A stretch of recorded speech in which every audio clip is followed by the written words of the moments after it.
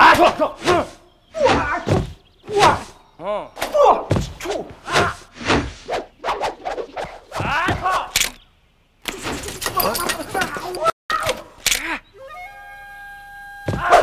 you get a kick out of that, you'll love this. The Del Taco Obscene Meal.